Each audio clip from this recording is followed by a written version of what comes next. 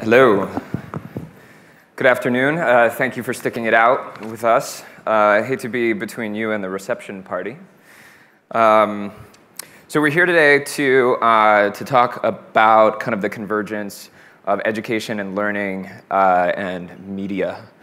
Uh, and that actually just poses the first question, which is, we're, we're, we consider ourselves educators, and we're here at a, a media summit. So why, why do you think we're here? Right?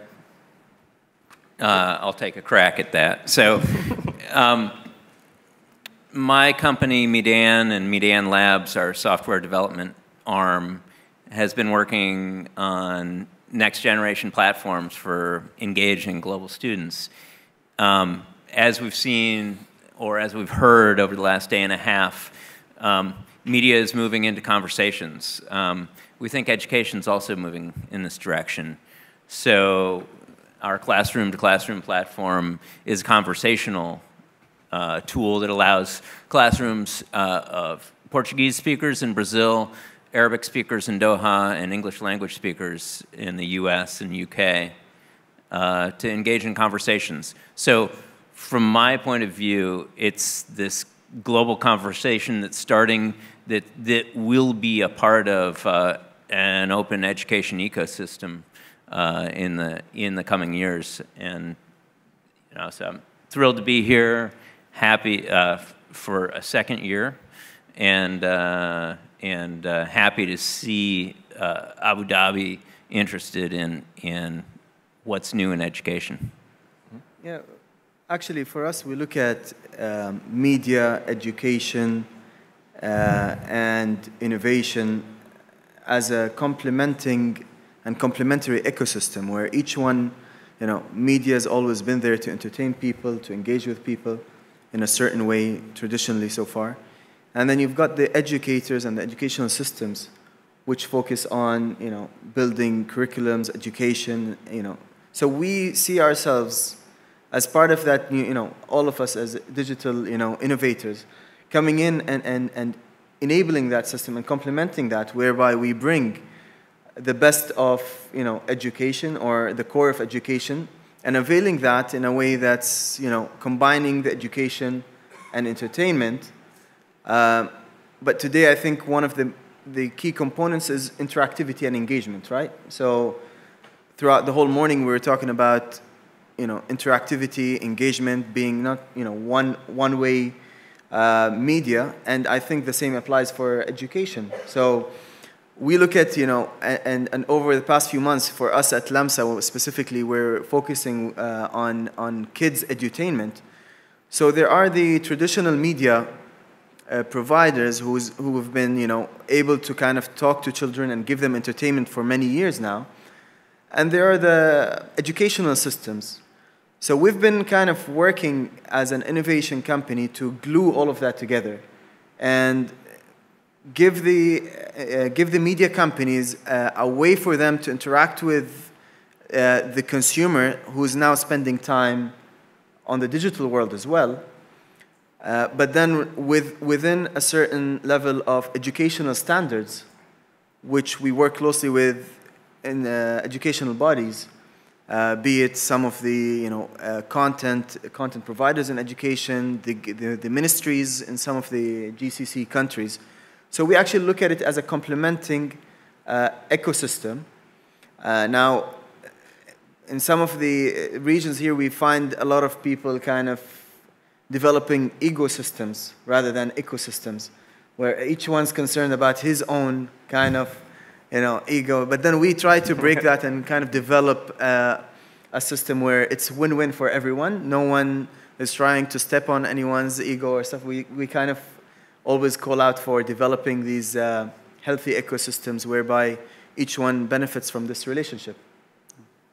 So uh, I am certainly the odd man out on uh, today's entire conference uh, uh, because I'm not in a media company at all. In fact, um, I am probably the antithesis of a media company. I'm starting a uh, brand new university. In fact, this is the first Ivy caliber university in the United States launched in over 100 years. Uh, but the reason I think that they asked somebody as out there as me to come uh, to this conference is that I am an example of the kind of institution that gets built when all of you do the job we expect you to do. And the job that we expect you to do isn't the job that you've been doing so far. It actually takes the definition of media to a different level. So, as an example, in our university, we will not offer a single introductory level course in any subject.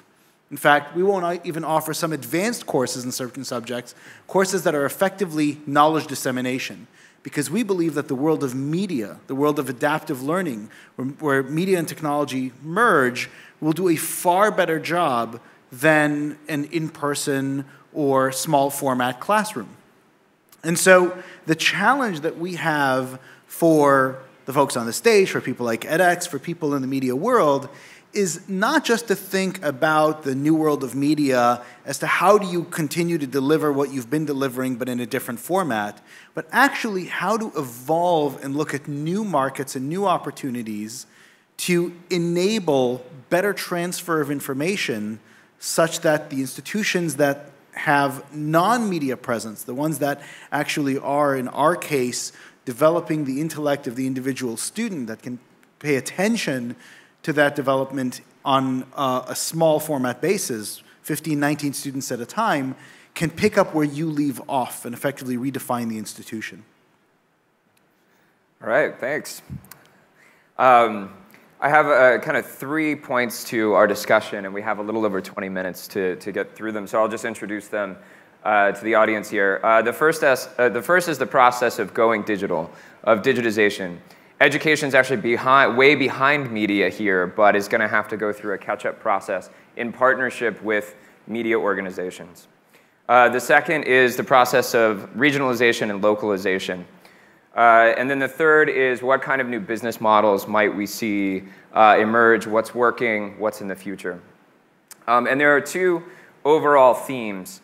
Uh, the first is this disruptive access to learning media and learning experiences, um, and how that's going to transform the world. Uh, the second is how our existing human institutions are having to adapt. So, whether it's universities or multinational corporations, everyone's having to adapt.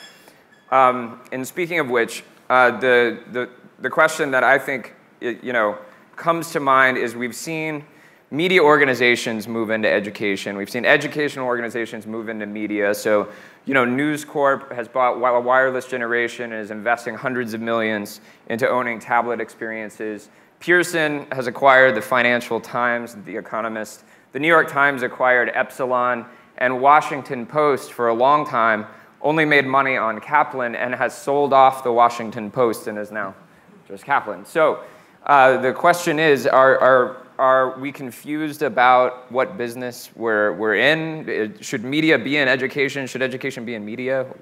What's going on here? Yeah, so for us, we, okay, these international transactions are happening. We see these different players and different giants trying to get into different businesses. But at the end of the day, for us, it's about the consumer, right? Uh, what does the, in, in LAMSA specifically, it's about the digital child, right? And understanding that child, and understanding what value we can deliver to that child. And it needs to be very contextual to the region that we're in, to the values that we want to deliver, um, to what are the standards that we want to apply. So for us, you know, we've been going to the, we've been working with the various ecosystem players one of them is the media companies. So we go to media companies and we say, we've got you know, this digital platform which allows you to talk to the digital child. And that's when the process kicks in. So a lot of these media companies, the traditional ones, uh, see that they're kind of losing uh, some of their consumers to the, towards the digital world. And we come in as a, as a way to complement them and work together with them in, in developing, you know, using their content uh, using their assets and their know-how with the, with, the, with, the, with children specifically, but bringing that into, into the digital world in an interactive way. And, it, and it's a joint activity. So uh, we bring in the expertise and you know, the usability, the interactivity, and, and, but we also work closely with them. So right now we kind of work with most of the Arabic uh, media uh, developers for kids, and we've kind of brought that experience online, right? Let, um, uh, let me kind of add a thought-provoking question there, which is that you know the most successful education media organization is Khan Academy, and it's a nonprofit, and by his own account, it's free and it sucks. There's no production value. There's no, and uh, and uh, you know we also see a lot of the successful uh, MOOCs, the uh, online courseware, things like that, mainly use the professor's butt model of media production, which is they film the professor at the at the lecture board, and it's free, and it's run by nonprofits. So. Um, is content actually an asset? Does there need to be production value? How do you add value on top of that content? How do you preserve the value of content?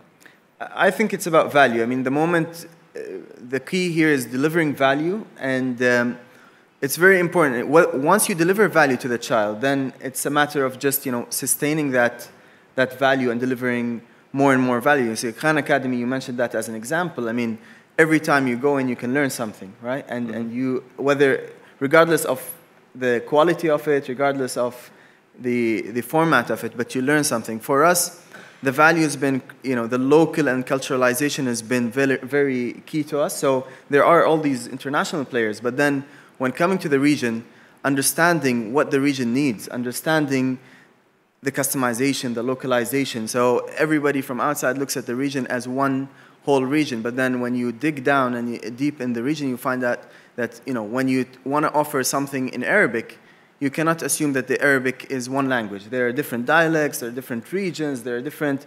So we kind of work very closely in, in customizing it, localizing, understanding the consumer, understanding what they need at this point of time. Mm -hmm. And also when it comes to the culture and being very sensitive to the culture. So, um, you know, you've got these international themes that are delivered for, for, for children, but then not necessarily everything relates to the region. So we, that's actually one of the main triggers that got us into this business was that, you know, as, as, a, as a young parent, I saw my children growing up and they didn't have access. So there were a lot of English and, and, and French and international uh, apps and platforms, but then we didn't find something of good quality which is for the region. And that's what triggered this whole thing. So I, I want to get this point in before the uh, president of edX shows up, um, which is um, in, as, as we're looking for new business models in this, in this environment, um, it, it's important to look at what uh, Coursera is doing. Um, and Meedan is really proud to be working with uh, the Taghra community to translate Coursera uh, content into Arabic. And the first full Coursera course, uh, just uh, uh, 32 hours of video has been uh, fully translated into Arabic and will be released soon. So, um, what's interesting is Coursera, free university level education, anyone can sign up. Um, Four million users around the world are now registered with Coursera. Mm -hmm investors are lining up behind yeah, them. Thank you. We're investors in Coursera. yeah, yeah, so, so plug yeah. for Coursera.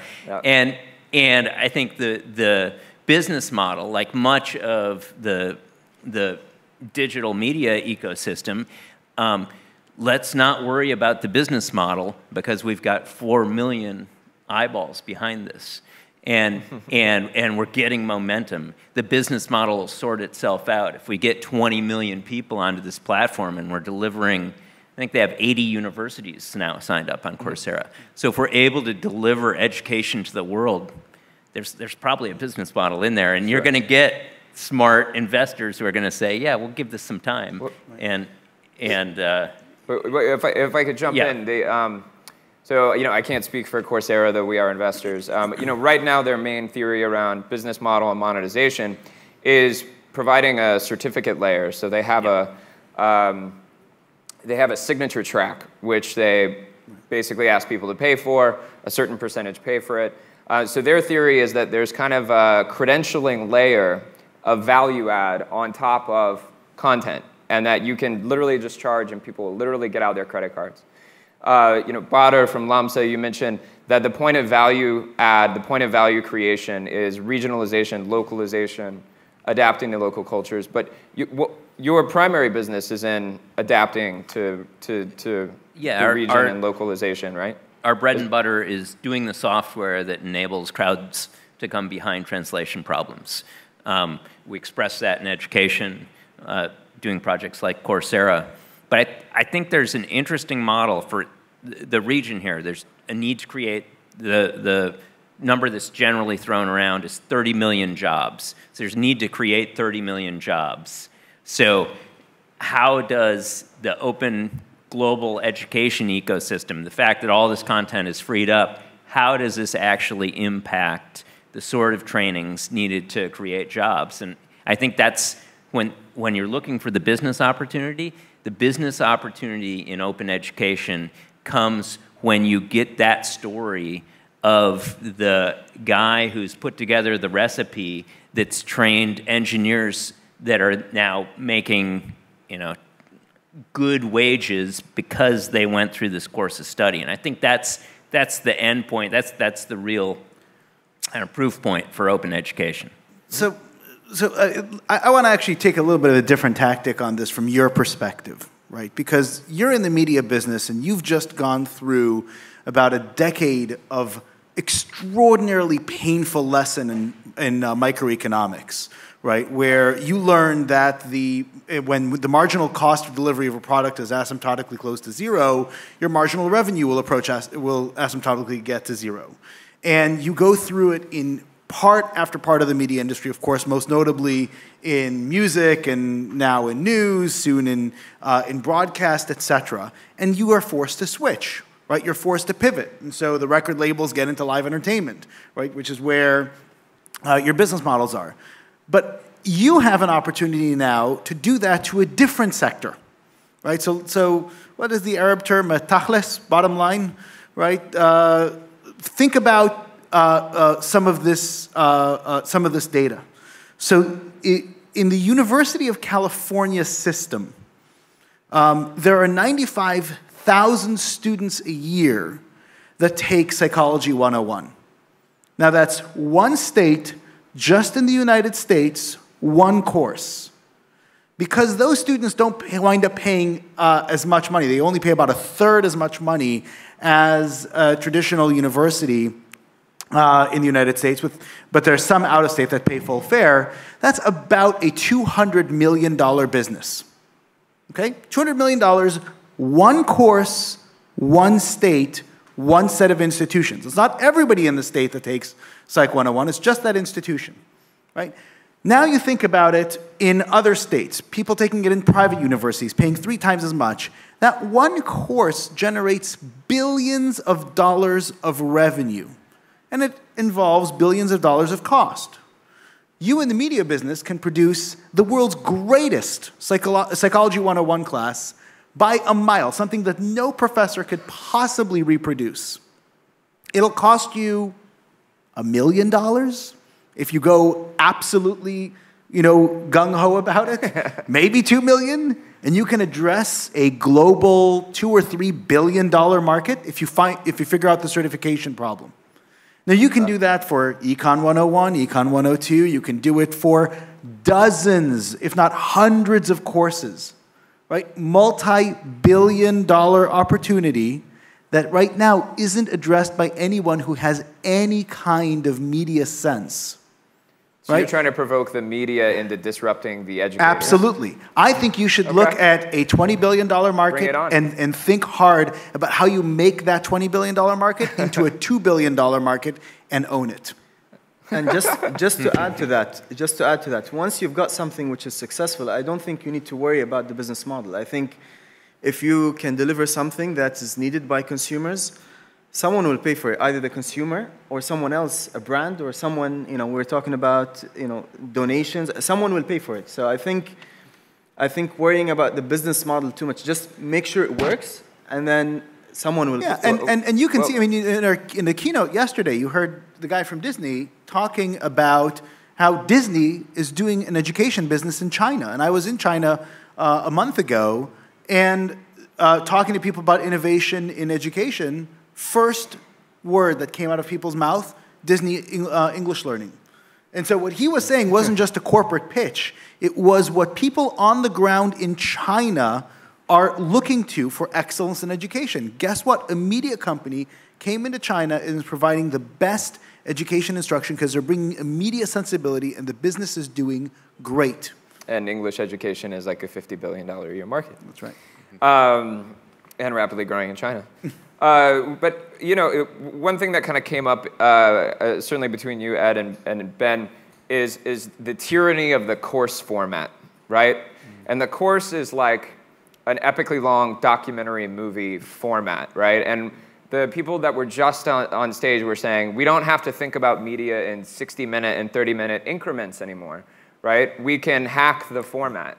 Uh, and uh, I participated in something, I, I, think it was on Forbes, I hope I'm not getting it wrong, but it was uh, the, the 30 second MBA. And it was just business leaders saying business tips in 30 seconds or less, the 30 second MBA. Um, so what kind of formats can we look forward to, right? uh, besides a course? Let's, let's think outside the course. Well, I, mean, we, we see a number of different formats out there. We think the dominant format will actually be time independent but competency oriented when it comes to the media part of, of education. And so, you know, you, you see adaptive learning platforms like Knewton, K-N-E-W-T-O-N, um, who, if you believe what they say, and there's no reason not to, um, if you have a million students taking a Knewton course within an hour, no two of the million will have had the same experience because the algorithm that sees how they answer questions, how long it takes them to answer, what they get wrong, what aspects will modify their path to teach them on an optimal level. Now, they do that initially with math, but they can do it, frankly, with any subject and knowledge dissemination where I think the course will actually survive. And Minerva is a traditional university, and we do offer our classes in courses because 100% of our classes are small format seminars, under 19 students, and they explore subjects to which there is not necessarily a single answer. The primary purpose of this course is the individual, socially oriented intellectual development of the students which means that you need to spend time with expert and student in a small group format synchronously. And for that, of course is an arbitrary measurement of time, but you know, you can divide it into two sessions, three sessions, five sessions, that doesn't matter. But you want to have the synchronous presence, whereas for most knowledge dissemination, you don't need to do that.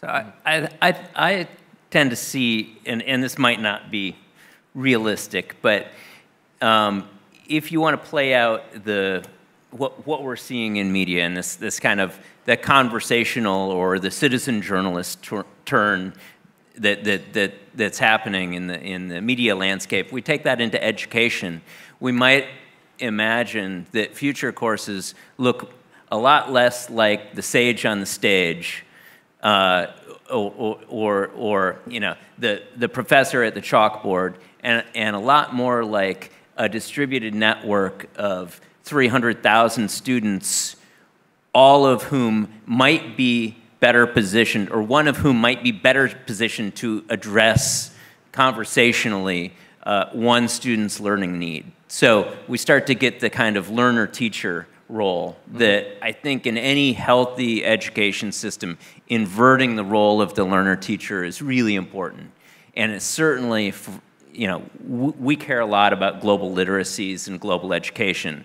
And so when Qatar Foundation International uh, supported us to build out classroom to classroom, they're really focused on like not, not how do we teach kids about environmental science, but how do we allow these you know, students from around the world to teach each other. So I think if, if you know, it's a slightly utopian vision of education and maybe not something that really fits with higher ed, but I think in general, evolving the course, evolving education to a point where students are, are feeling empowered to teach each other and are, you know, make, where, where the insights of, you know, uh, one student are benefiting all. So, okay. Uh, I, th I, think uh, talking about formats, I think one of the best uh, examples about you know education and information on apps is uh, an app called Back in Time, if you've heard of that. So Back in Time is a, a very interesting app which takes all of the encyclopedias, history, uh, everything, and just puts it in one app in a visual way to see the entire encyclopedia information in, in a form of a 24-hour kind of uh, time zone. And you can just flip throughout history, and, and, and that's a form of really, you know, looking at how to bring boring or like traditional encyclopedia stuff and making it engaging and interactive and really out there. It's, uh, it's a form of, you know, uh, you can play around with information and, and whatever is something of interesting to you will stick to your mind. Mm-hmm. So I think it's unlimited. You talked about formats. I think, I think the avenue for unlimited format with the technologies that we're using is just limited to what we can think of. And uh, Badr, your uh, uh, Lamsa is uh, subscription based, right? Yeah. And uh, and the content is uh, short video. Is that the format or? So we we target and work with kids. So as you know, um, most of you know, kids are multitasking. They do 10 zillion things at the same time. So we kind of cater for different formats. So um, we we provide uh, interactive stories, but videos as well, games, coloring. So the entire range of of um, edutainment needs of a child. Mm-hmm. And the way that we do that, our content is consumed uh, more than uh, we, 2.5 million downloads on, on content. We've got about uh, 250,000 kids using it. And, and we're able to kind of, you know, uh, monitor their behavior and see what they're doing and, and, and what they're doing more, what they're doing less. And we're able to kind of, you know, give them more of what they like. And the way that um, the business model works is that kids have access to free content, but then to get the full kind of advantage of, of and, and, and the features and the content, they kind of need to upgrade um, the functionality by, uh, by going for a subscription model. And as most of you know, in the region, we have a problem with the, with the payment. So we've kind of worked together with, closely with mobile operators, and we still so in each country that we enter in uh, the region, we, we choose a strategic mobile operator to kind of be our distribution arm for payment and, and, uh, and collection, and uh, that's been doing well for us. Mm-hmm.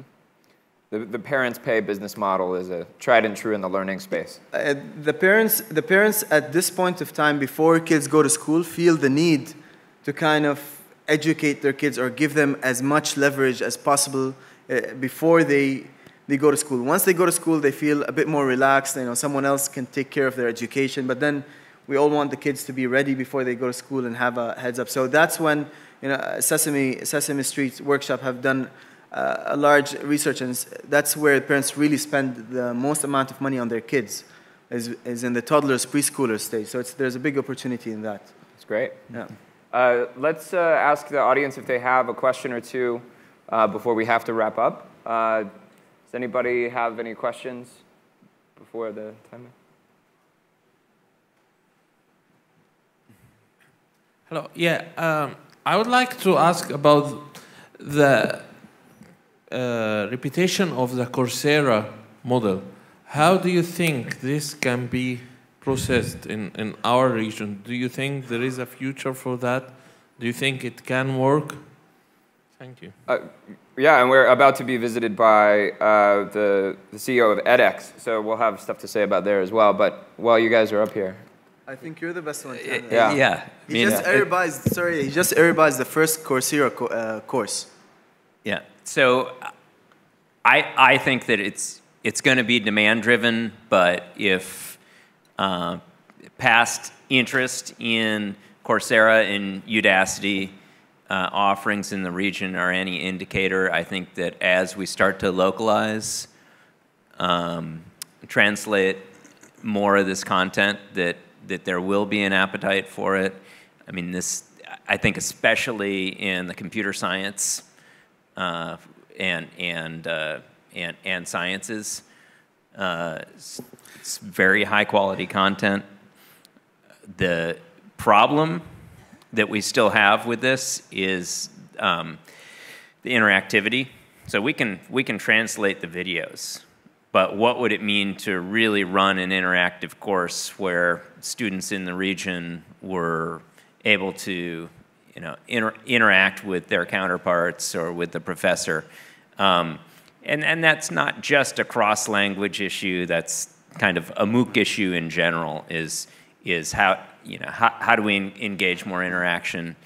And, you know, the, the MOOCs can look like a solution to global education, and they may be that, but, but um, you know, it's still very early days on, on these courses. And, and uh, you know, one interesting point of feedback is my brother's a university professor, and he taught his first MOOC uh, last year. He's like, oh, I hated that. It was awful. like I didn't get to talk to my, I didn't get that, you know, sense that I was teaching. I was, I was uh, it, you know, really lost that. So I think that that high touch, the kind of human component of, of education is, is always going to be important. And, and uh, you know, certainly as we export this stuff to the region, it'll be important that this stuff gets instructed in classrooms and gets picked up by university professors here. And, and uh, so. So, so let, let me just uh, address the question you asked about, about will it get the, the credibility?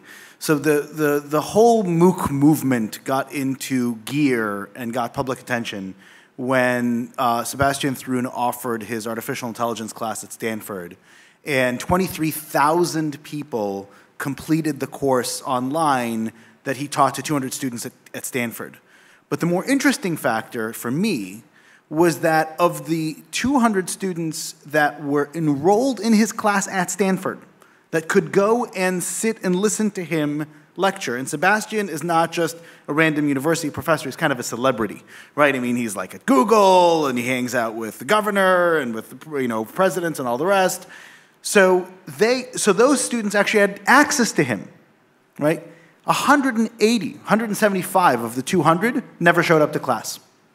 They decided they'd prefer to take his course on a platform that didn't exist, on the, on the, the alpha version right? The worst possible technology you could, you could imagine delivering a course on, right? Because it wasn't it was before Udacity was created, rather than actually sit through the lecture, right? So they say that distance learning starts in the third row. So I can basically see that basically behind the third row, everybody's on their phone, and everybody in the first two rows wasn't smart enough to sit back the there so they could be on their phone. The third row, right? um, and so, uh, and so what? What the the difference is that universities will not be able to continue performing business as usual. They won't be able to say, oh, yes, for you 23,000 of you, for anybody in the world that wants to take our courses, it's totally free, except for those students that get admitted to our university, in which case it'll be $5,000 a piece. There's no way they're going to be able to sustain that. So, what's going to happen is that the nature of these courses will change. And so, the, these courses that will be, be able to be delivered en masse will be and they will be considered public domain and public access over time right? And the value of those courses will be the same whether they're delivered within the institution or outside the institution. The market will force that to happen. There won't be a choice but for the courses to have the same value. Unfortunately, we're out of time, but that was a miraculous transition to our next guest, actually. Um, are we ready to go? Yeah? So, what do we do? we, we, wrap up? Okay. So you guys are up. Everybody thank Ben, Ed, and Badr. Thanks, guys.